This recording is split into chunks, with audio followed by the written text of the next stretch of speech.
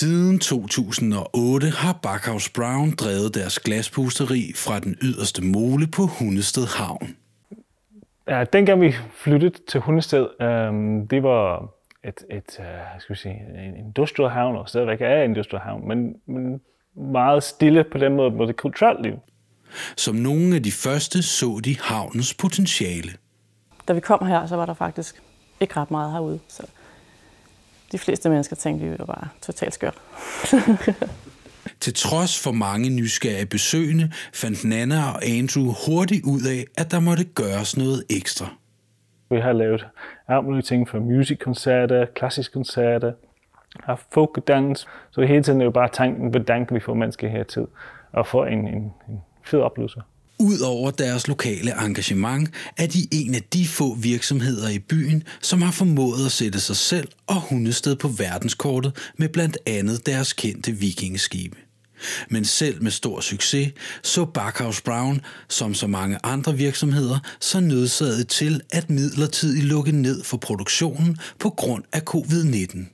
Ovnen er på 0 grader nu, som normalt er på 1140 grader. Når man arbejder med glas, så er man jo meget tæt på hinanden også. Vi har det samme værktøj, puster de samme piber, så, så man er meget tæt, så vi tog simpelthen den beslutning, at vi vil slukke og lukke.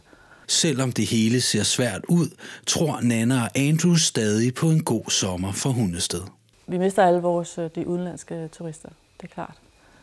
Øhm, men så håber vi på, at der kommer endnu flere danskere. Som et ekstra rygsted for byen har Hundested Erhverv iværksat projektet Hundested Folkeaktier for at hjælpe alle igennem coronakrisen.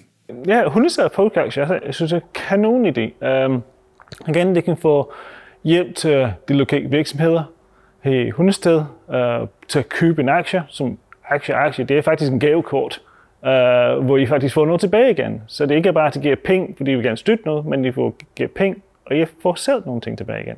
Så det er en win-win. Det er, holder byen i gang. Hos Backhouse Brown er de meget taknemmelige for den store opbakning fra byens borgere. En stor tak til alle dem, som har støttet. Øh, det er vi rigtig glade for. Jamen, jeg vil også sige tak til øh, dem, der har købt Folk-aktier. Uh, det, det kommer til at betyde rigtig, rigtig meget i de nærmeste fremtid for mange små virksomheder. At de ved, at de står ikke helt alene, men der også byen står bag dem og, uh, og igen se dem på den anden side af det her krisis.